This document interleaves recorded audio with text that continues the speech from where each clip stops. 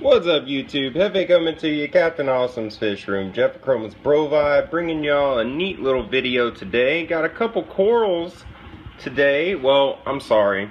I got one coral and one anemone today. And you're looking at the anemone that I got. Uh, now, this is a carpet anemone, but it's not your larger carpet anemone. This is one of the maxi minis or miniature carpets.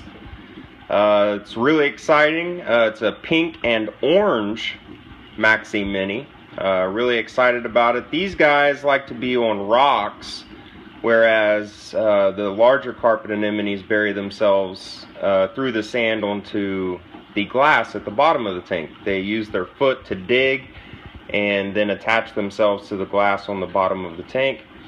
Uh, now I just put this guy in here and he's already starting to open up. Uh, he seems to like this rock right here because he hasn't moved much. Uh, he keeps rocking back and forth. I think he's just trying to find his place. But get ready for some awesomeness because no longer do you have to look at these videos of mine inside the reef tank with these blue lights and not be able to see correctly. Check this out. Oh, that is awesome. Finally got my filters in, uh, and as you can see, they work very well. Uh, they're really, really cool. I got them for three bucks. I got uh, a bunch of different cuts of uh, different, I guess, uh, shades. Um, so depending on how intense the blues are, uh, is how dark you go.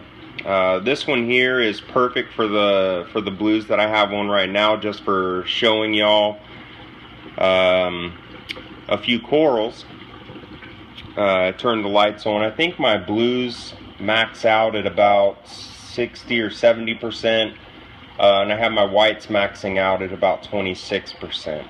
Um, but yeah so this is the carpet anemone that I got the Maxi Mini. Um, you can see a lot of the colors in it. Uh, you can see some purples, oranges, and pinks, uh, and a lot of greens and blues as well.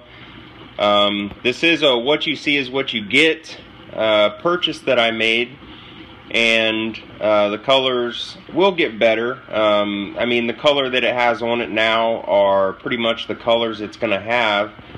Um, but yeah, I mean, they'll, they'll intensify a little bit. Looks like this guy's fixing to split though. Of course not from being in my tank, but you can see there's two mouths there.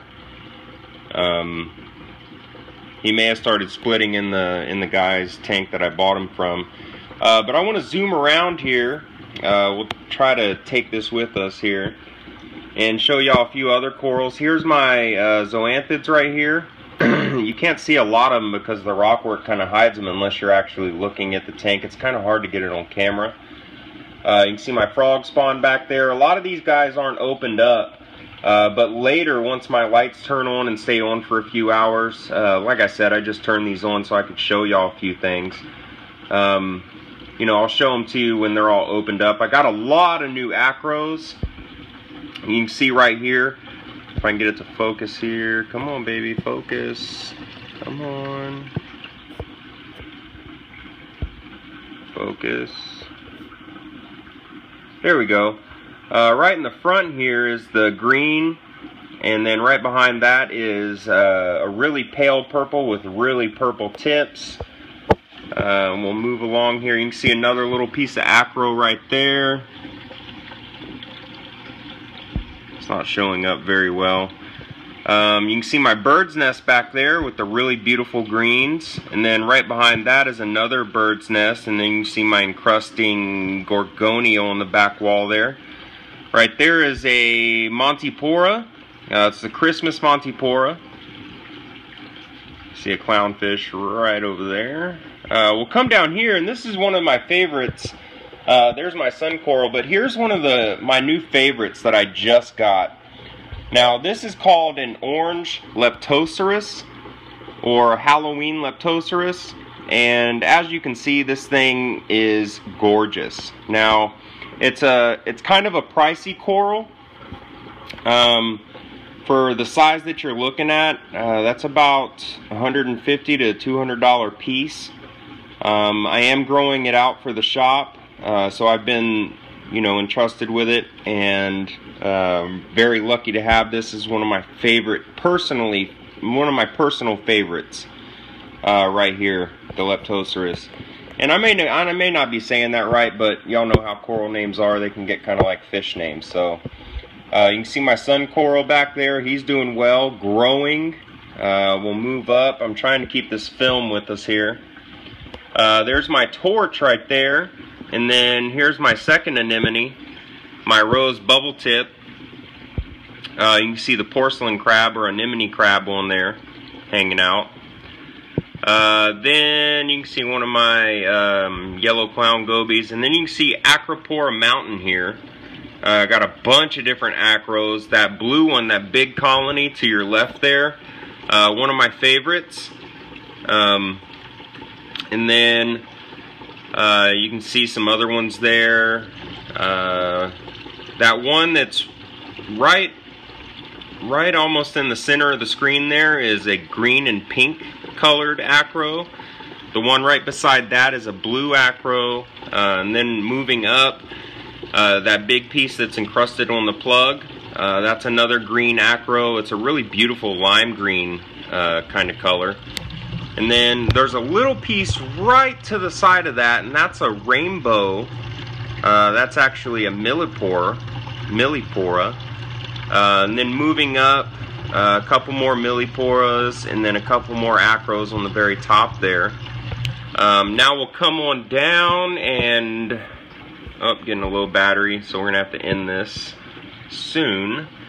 You see another, um, oh, that pink and green one right in the front there in the center of the screen is actually a, tab a tabling acro, so that's pretty cool. Uh, it'll actually, I mean, it still branches, but it's going to table out. Um, there's another millepora, or montipora, sorry. Um, it's a montipora there, that's an all green one. And then moving down, you can see my metallic orange mushroom and my kryptonite candy coral right there. Uh, that's a beautiful green color.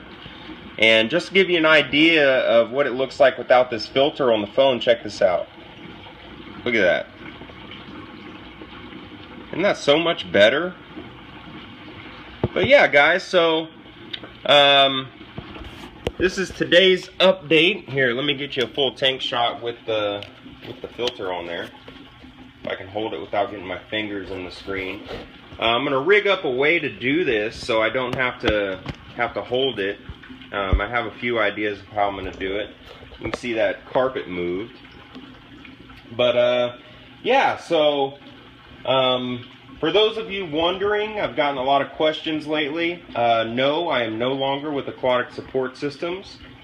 Um, for whatever we, reason, we just uh, went our separate ways. Uh, no harm, no foul. We're all still friends.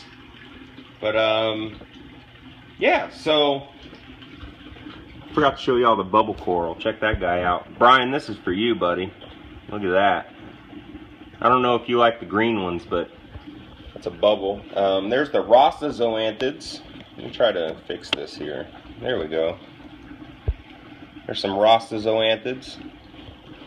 But yeah, so no longer with aquatic support systems. Um, I do have a lot of new things going. Um, try to get this focused here. Uh, the 300 gallon is almost done. I've been having some problems with the 4 inch bulkheads. But uh, it's almost done and it's almost ready for Big Rig. So stay tuned for that.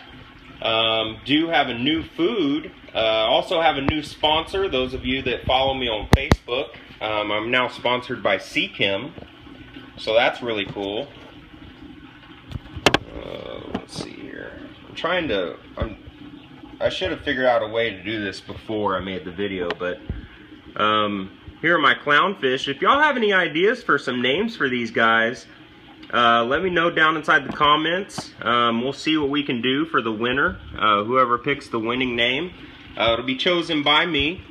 Uh, so Uh, if you have a good name, of course, male and female, because eventually one of these guys is going to turn male, or I'm sorry, one of these guys is going to turn female. Oh, also got some, um, a couple different varieties of pulsating xenias back there.